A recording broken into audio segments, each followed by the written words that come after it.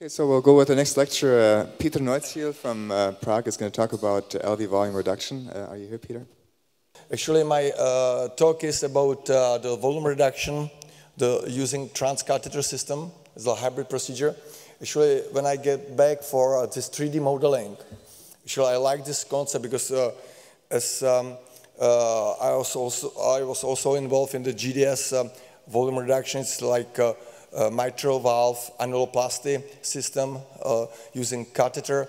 We used actually the 3D printout uh, of the heart of the actual patient to actually designing and um, manufacturing uh, the tools for cinching the heart.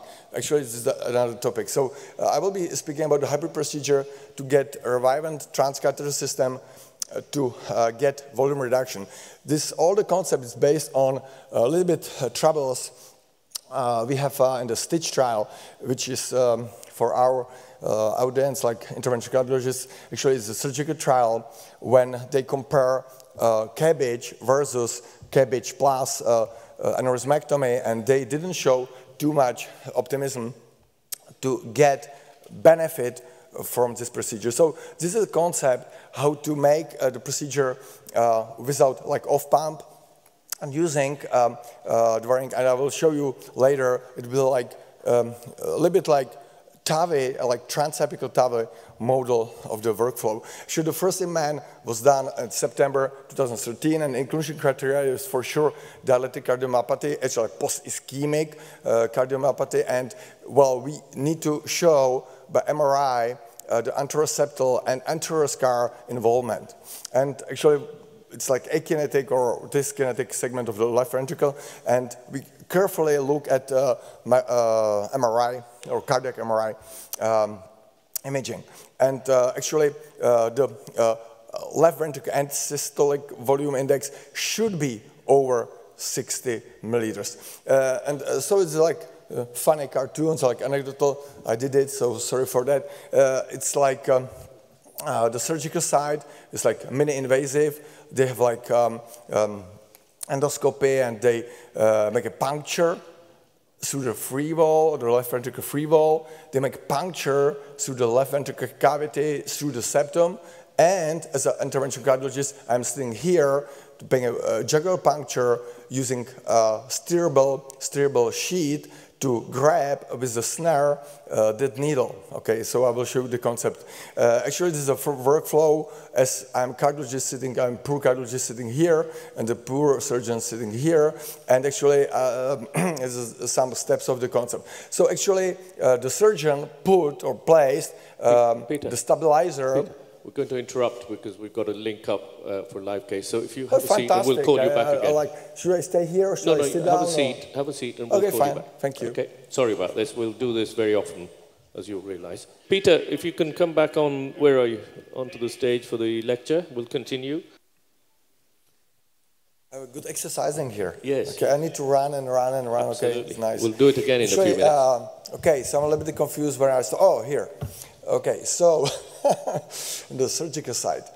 Actually, well, so we have a stabilizer on the left uh, ventricle uh, ladder wall, and the surgeon needs to puncture the free wall and get through the left ventricle cavity the needle through the septum. Actually, on my side, when I have a jugular approach and the steering uh, catheter and place the loop of the snare just on the septal, right side septum. And then when I get that, he has good navigation of fluoro to make a puncture. So he need to go through the needle to my loop and actually I can grab it then. And when I grab it, he plays the PTCA wires through the system. So we are wiring uh, the left free wall through his side, through the uh, left ventricle, to the right ventricle, and to the jugular. So we have a, just one solid wire, and then after that, we can place the first anchor. The internal anchor is placed from my side, from jugular side, going down and placed on the right ventricle septum. So first anchor is going on the right ventricle septum side, and then um, surgeon plays from his side, from the outside external anchor, uh, based on the, all, the assembly. So then he can change here, and you can see the fluoro, the system. So then, after first anchors, internal, external, the, the first pair, they can put the second, third, and whatever. So finally, the, the heart or the left ventricle uh, is clearly could be excluded for all this aneurysm. Actually, based on the surgical experience, uh, we did four these hybrid cases, even recently. So I have just analysis for three of them in the six months. And if you compare uh, our surgical experience with this same system, so uh, if you look at the essential parameters like uh, systolic volume index and diastolic volume index, the pre and post for surgical patients, and when I compare with the six months follow-up for the transcatheter, our own um, uh, experience, we got pretty much the same volumes, volume reduction, which is exciting. And actually also the patient really doing the same in terms of functionality. So I will quickly go through this. I'm afraid about interruption, so I need to be really fast. Okay, so uh, actually when I, when I, uh, I would like to uh, show one case uh, we are really carefully looking at the MRI. So even dynamic study, like kinetic study, and the, uh, the echo, and we need to evaluate all the scar placement. The, the critical part of this um, procedure is based on the scar on the septum, because if the scar is not present on the septum, the procedure couldn't be done safely. So these are the fluoro, and actually uh, it's um, um, of several fluoros. So actually we grab the, is here visible, so we place the loop on the septum side, okay? The right septum side is open here. The surgeon places the needle and through the hole. So uh, it's, it's really nice here. So this is an open loop of the snare and is grabbed by my uh, catheter or snare catheter uh, from jugular. The, okay, can go through. Okay, actually, uh, you can here see also the placement of the PTCA wire through the needle. Okay. And uh, this is a continuation. So after that, we place the first um, internal anchor through the system based on the wire, wiring um, uh, through the jugular uh, to outside. And actually, here is the placement. Here's the placement. Uh, the, uh, the external anchor actually is visible here. It's already done here and we are going to another, the second anchor. So when we have a good anatomy based on the, as I said, based on the MRI, we can place two up to three internal anchors and then transapical as a final anchor because we need to close all the cavity. Actually, I use uh, the steerable uh, sheet, uh, uh, sheet and also steerable catheter. It's a mapping catheter, and it's critical because if you, if you manipulate with the steerable sheet uncovered, so the edges could tear the right ventricle uh, wall. So you need to protect uh, also um, mm, some, some troubles you can make a perforation of the free wall. So the whole case is, all case is finished by placement two internal anchors and two external anchors, and then place also uh, the external, as I said, transapical anchor, and we close, we finally closed uh, uh, the, uh, the, the, ventricle or the aneurysm. So this is a LV gram prior the procedure. This is LV gram after placement, just two internal anchors.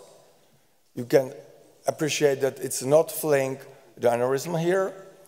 And if we, when we did Peter, for this patient, this Peter, part of, okay, so, sorry again. Interruption again. A bit more exercise. So if you have a seat, we'll call you back. I will exercise again. Yeah, exercise Fantastic. again. Yeah. Okay. So run, don't forget this picture. Okay. Yeah. Run down the steps, and then we'll call you back. Okay. All right, Peter. Exercise again. Back on the stage. Those of you who've forgotten what Peter was talking about, that was transcatheter left ventricular volume reduction. I'm still here. Well, it's, uh, I need to urinate, uh, but you know, I still keep it. Okay, so Actually, uh, so we are speaking about left ventricle uh, uh, volume reduction, Revivent, BioVentrix, okay? BioVentrix, Revivent, LV reduction. Actually, we uh, stop at the level when I showed you LV gram prior and then after the, uh, the anchors placement. So I didn't show you, the LAD flow prior this uh, remodeling and after this remodeling, which is kind of interesting.